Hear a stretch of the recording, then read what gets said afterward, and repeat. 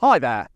Today we're going to talk about a topic that seems so easy, but actually requires a little bit more thought than you might think to get right, and that is how to photograph flocks of birds.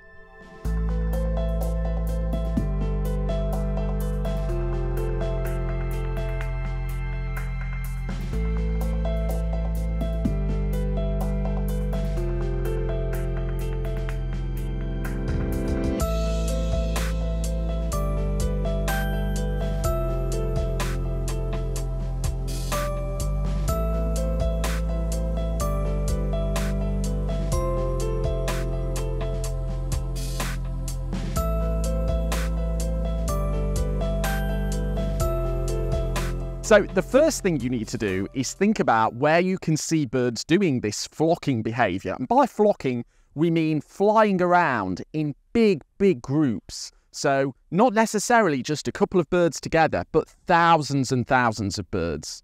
So, you need to do your research on that behaviour and find locations where this flocking happens.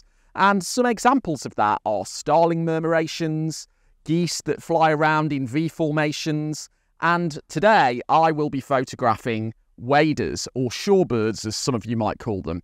So behind me is the Wash, which is a massive estuary in the UK, and you can see the mudflats with the tide all the way out. And very soon that tide is going to be coming in. I've actually been here for the last three days, so I'll be showing you some photos over those three days in a variety of weather conditions. But what happens here is that at spring tides, which are the highest of the high tides. The water comes in and fills the entire estuary. All the mudflats are covered and it sends all of the wading birds up into the air. And you can get photos of thousands and thousands, countless birds. So it's a great opportunity to photograph flocking.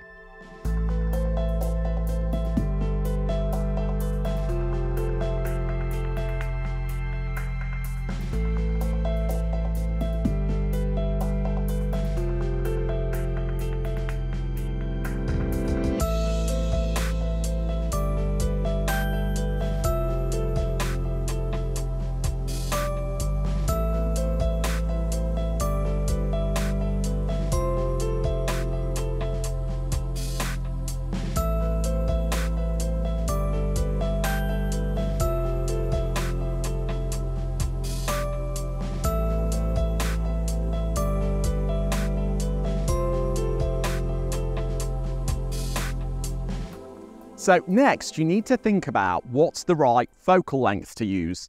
And often with bird photography, we're talking about using long lenses, so up to 600 millimeters on full frame. But sometimes with flocking behavior, you want shorter focal lengths because you want something a bit more wide angle to get all of those birds in the frame, or at least a large portion of them. And so it might be worth thinking about shooting with things like a 70 to 200 mil something like that, or maybe even something that takes you up to 400 mil. A zoom lens can be really helpful in this circumstance because the birds can be at a variety of distances from you, but often you don't need to be going up to 600 mil. Now, in this situation, I probably will be shooting up to 600 mil or maybe even beyond it at times because this estuary is absolutely massive. It goes on for miles and miles and miles. And so I may need to shoot some birds that are further out. But I know in the past, for example, when I've been photographing starling murmurations, uh, using something like 100 mil has been perfectly fine for me. So if you've never been to one of these situations before and you've got a choice of lenses, it's probably worth taking a few with you. But if you have been, really think about it because if you don't need to be at 600 millimeters, then you take your 600 mil lens with you you may end up only getting a really tiny portion of those birds in the frame. So putting a little bit of thought into the focal length is worth it.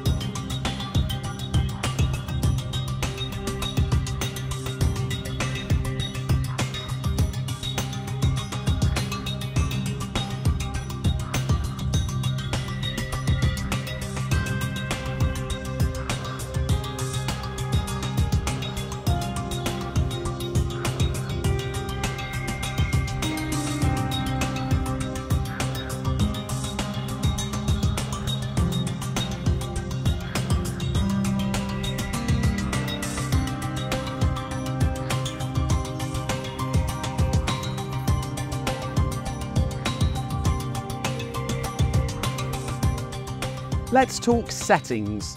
So you'll find you don't need such a high shutter speed as you would if you're photographing a single one of those birds flying.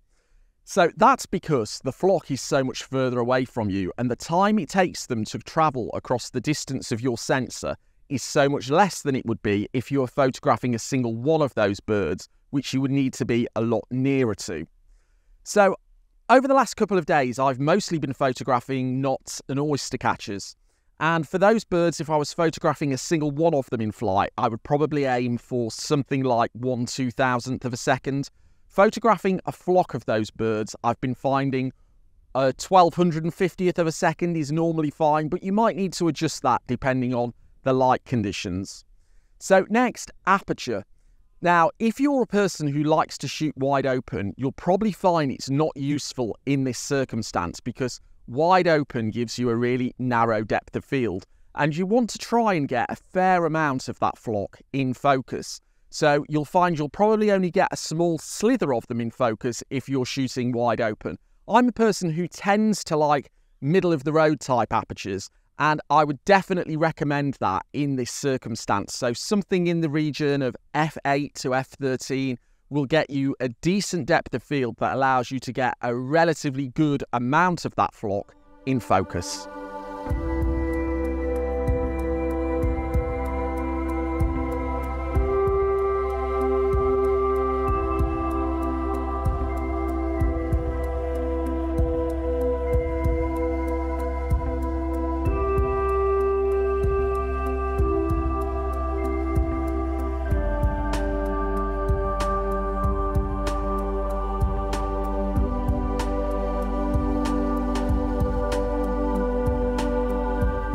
So, next, where to focus. And this is the bit that I think people mostly get wrong. I see a lot of photos of flocks of birds where the focus was just somewhere in the middle of the flock, or sometimes even at the back of the flock. And our eyes, as viewers of those photos, we expect the thing nearest to us to be in focus. So I think a lot of this happens because people shoot in wide or zone focusing you really want to be using a single focusing point in this circumstance and put that focusing point over a bird that is nearest to you. That way, you'll let the focus drift out of focus the further back through the flock they are, but the nearer birds to you are in focus. The other thing that our eyes expect to see as viewers of those photos is that the leading bird in the flock is in focus. So if you're photographing a group of birds that are moving across the scene, try and focus not only on the ones that are nearest to you, but on the ones that are at the front of that flock. And that will really help set the scene for your viewers. So, just to clarify that last point where I was talking about focusing on a bird that's nearest to you, this wasn't about where you're photographing large clouds of birds at a distance. This is about where you're photographing smaller flocks much nearer to you. And I'm going to give you a couple of examples here. And for these examples, I'm going to zoom in to about 250%, so it might look a bit pixelated, but that will help you see what I'm talking about on any resolution of device that you're watching this video on. Now, the first shot here, you can see that the nearest bird to us is nice and in focus, and that focus drifts out of focus the further back through the flock that you look. And if we compare this to a second shot, very similar of a small group of birds, you can see that there are nearer birds to you that aren't in focus and it just doesn't feel quite right. I've been here for three days now and that has allowed me to photograph these birds in different lighting conditions. So on day one we had a spring tide round about sunset which meant the birds took off after sunset and on day two, we had a spring tide just after sunrise, which meant that the birds were up in the sky during normal daylight. Now, that day was particularly cloudy, but it was really nice in that it produced some very muted colours and it was very blue. And on the third day today, it's been a nice, clear, sunny day, and there was a spring tide round about sunrise. There's possibly going to be close to a spring tide at sunset, so I'm hanging around for that too. And I'll get some really nice bright orange colours with those. So that has allowed me to photograph them in different conditions. And I would recommend for you trying to do a similar thing. Now, it might not be that you do three consecutive days. You might turn up to these things at different days throughout the week or throughout a year, even. But getting them in different lighting conditions can really help produce a nice wide variety of photos. In fact, I've enjoyed it so much, and there is another spring tide tomorrow, so I may even hang around for tomorrow's spring tide too.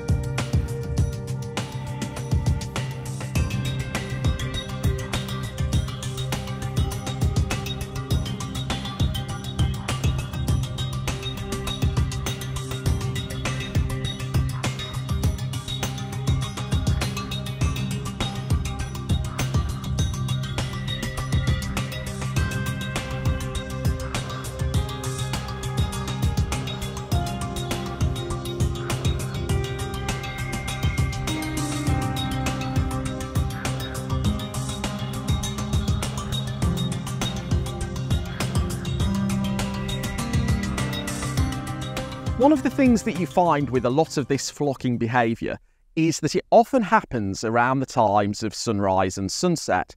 So, particularly things like starling murmurations, you see them coming into roost around sunset, sometimes after it, and then taking off from that roost first thing in the morning.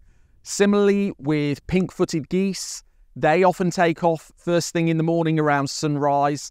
And a couple of days ago, on my first day here, the birds took off from the wash behind me well after sunset. And so it was too dark in those circumstances to be using shutter speeds like 1250th of a second because the photo would have just been pure black. So in those circumstances, what you can do is go for a slow shutter speed and get some motion blur in the picture. And that's actually quite nice because it shows some of that motion, the movement of the birds through the landscape that you're photographing. So the shutter speed that you go for there will really vary depending on how near the birds are to you. So anything between a tenth of a second and a hundredth of a second will typically be fine.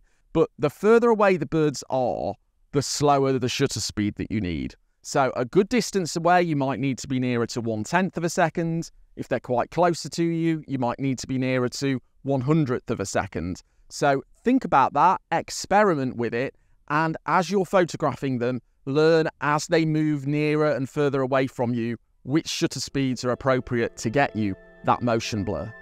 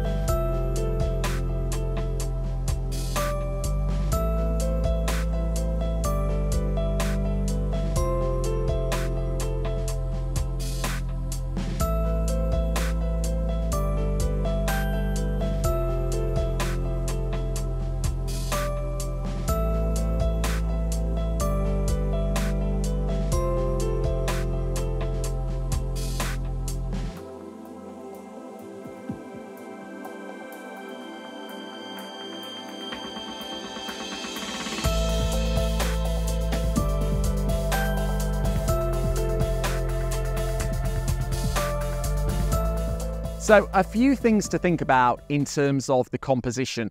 And the most important one of those is photographing the flock in the landscape. Now, that's not to say that every photo that you take of them needs to have some landscape elements in, but I do find when I look at particularly starling murmuration photographs, you'll see that the photographer has just taken a group of birds in the sky. It might be a nice shape, but there's no context to it. So, viewers who weren't there taking the photo have no real idea about the scale, the size of that murmuration. And the same here on the wash with these waders taking off. Unless there's something that helps put it into context, the viewers have no real feel for the size of it. So if you can find something in the landscape, maybe a boat behind it or part of the shoreline, or in other circumstances, maybe some trees or a building or something that just gives a little bit of context, it will really help viewers of the photo who remember weren't there when you took that photograph. It will really help them to understand the scale of these flocks that you're photographing. The second thing to think about is when you're photographing a flock moving across, and perhaps in this circumstance where you've got a lead bird, the rest of the flock is following it, you want to make sure there's still some negative space for movement.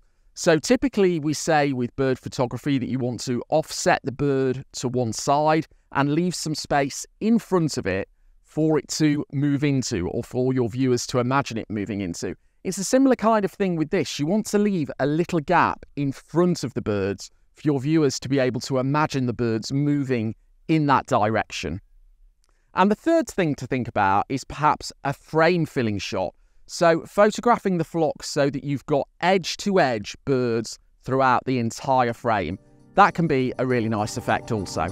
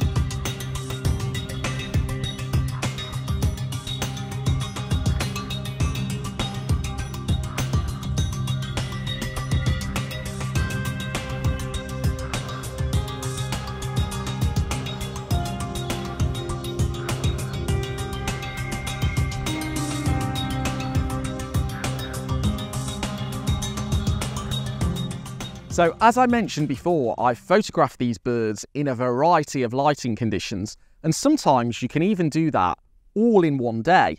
So to understand how to make the most of your day from sunrise to sunset, you want to check out this video.